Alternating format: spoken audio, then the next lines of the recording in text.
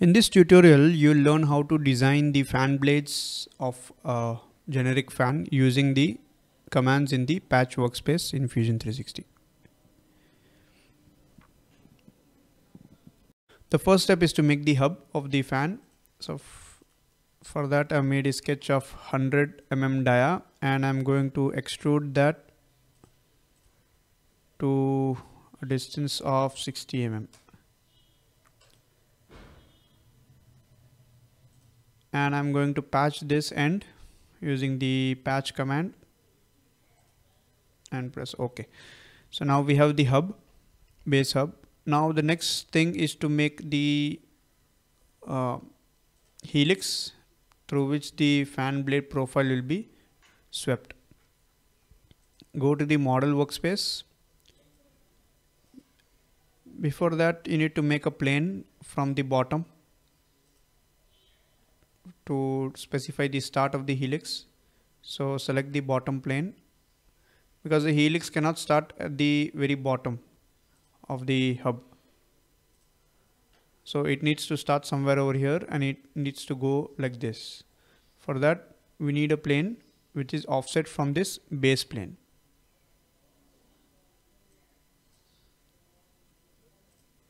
So let's make a plane offset 10 mm from the base plane and this is going to be a starting point of our helix or coil.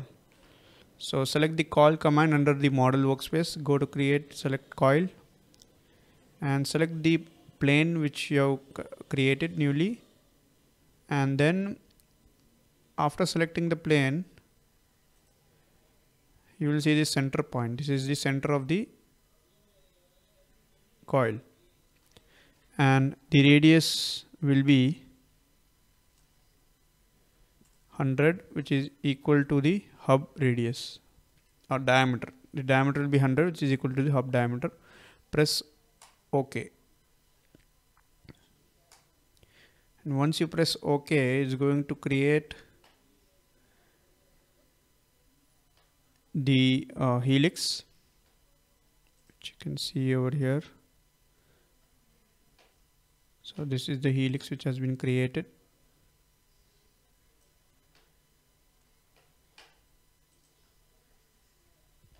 just modify the height. Height is too less. Okay our height is 50 it has to be lesser than 50 so 40 so let's keep it at 40 so this will be the profile for the fan blade. Over here I have selected the section as triangular and section position as inside now why I have done that is as you can see this is the swept this is the coil in the triangle section and the outer edge of the triangle forms the uh, profile which will be used for sweeping the blade. So that is the reason why I made the section of the uh, coil into triangle and section position inside so that I can use the outside edge to be used for sweeping the fan blade. So now we have the profile through which the fan blade surface has to be swept. Now we have to go on and develop that surface using a loft.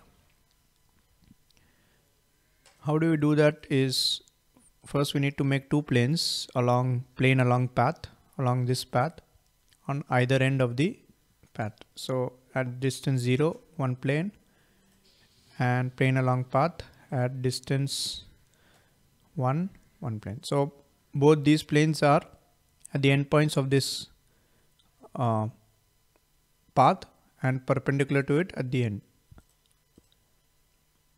Next thing is sketching on that plane and making a horizontal line of 100 mm. So this line is horizontal starting at that point that end point and it is 100 mm in length. Similarly for the other plane line starting at the end point horizontal 100 mm in length. Now we have the wireframe. Next thing is to use the loft command. Under create loft select the profile. So first profile is this top one. Second profile is this. And I need to select a guide rail which is the uh, surface which is formed from the helix. The path which is formed from the helix. So now we have the surface for the fan blade. Next step is to thicken this. So this surface has to be made into a solid it has to be thickened giving it a thickness of 4 mm. Under create thicken select the surface which has to be thickened. Next step is to fillet the edges the sharp edges of the blade. For that we need to go into the model workspace go to modify choose fillet. Select the both the edges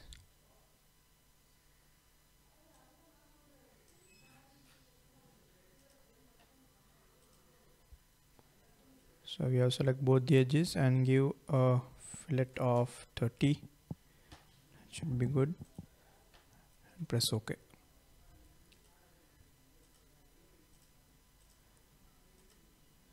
So the next thing is to pattern this blade, this single blade into three such that we have three total three of them. For that we need to go into pattern, circular pattern, select bodies, pattern type bodies, select the object which is this one, axis about which you need to pattern the hub axis. Now it's showing a preview of two more which have been generated due to the pattern press ok. So that's it. Now we have the all the three fan blades. Only thing left is to just touch up the design by giving a fillet at the top of the hub. For that we need to make it into a surface. So right now uh, make it into a solid right now it is a surface. So go into the patch command select these two bodies and stitch them up. So I select the stitch command selected those two bodies and it has become into one single surface. Next is to select the fillet and give a fillet of about 5 mm and thicken the hub as well. Minus 4 so that's the design of a generic fan using the patch workspace in Fusion 360